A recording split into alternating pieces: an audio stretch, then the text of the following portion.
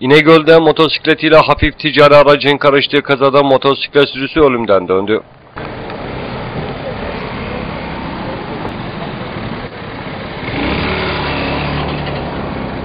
Kaza Hamidiye Mahallesi Park Caddesi üzerinde meydana geldi.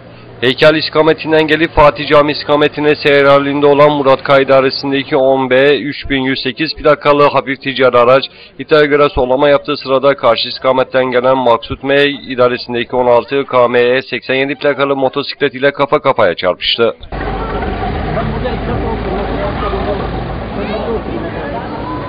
Nerede vurdu Hacı abi? Burada. Vurdu buraya kadar te motoru sürdü buraya. Çarpışmanın etkisiyle motosiklet sürücüsü kendisini motordan atarak park halindeki aracın yanına düştü. Motosiklet ise kayarak metrelerce ileride ancak durabildi.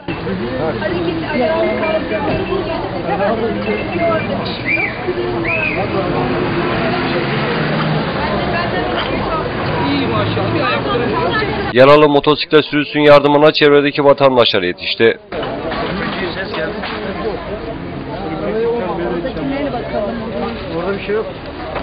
Olay yerine sağlık ekipleri gelene kadar bazı vatandaşlar yaralının ayaklarını havaya kaldırarak sürücüyü sakinleştirmeye çalıştı.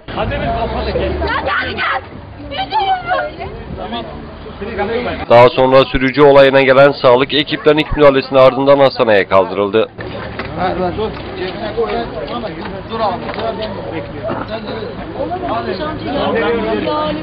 Tamam.